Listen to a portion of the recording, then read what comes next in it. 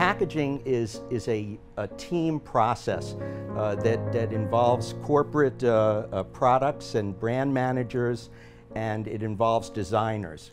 Packaging comps are a way for the creative people to communicate the new designs, the line extensions, all the activity that's going on within the packaging industry, and do it quickly and do it successfully. Why do you go to a store and look for a product? That's exactly the reason. No, it's it's no, you don't buy anything now without seeing it before, no, and that's the reason packaging comps exist. A trend that we're going to see more in packaging is to see uh, variable data used. So that products will become more and more personalized towards the consumer. And it's an area that we're particularly positioned to address.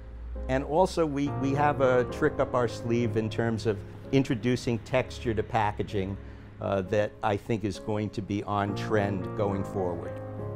Additional with our GMG proofing solution, now we are capable to really simulate a press run, not directly in the comp stage, which gives the client the satisfaction that he doesn't go on press and is disappointed. I think nobody else in the industry has this, I would, would say, firepower like we do.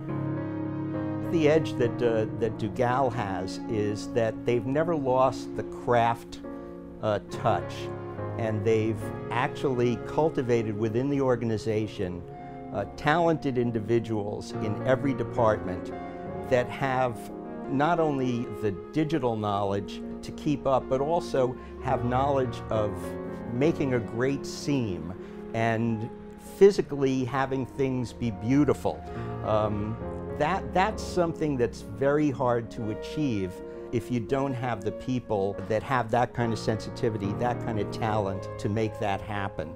And I really think that's the edge.